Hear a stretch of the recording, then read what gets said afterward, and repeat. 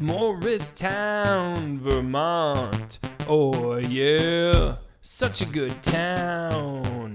Check out the Red Bridge in Sterling Valley. Oh, yeah, Morristown is such a nice place. I love Morristown so much because it's wonderful, yeah. Morristown, such a good place, such a fine municipality. 05661, that is the zip code of Morristown, Vermont. Oh, yeah, I love Morristown so oh, oh, oh much.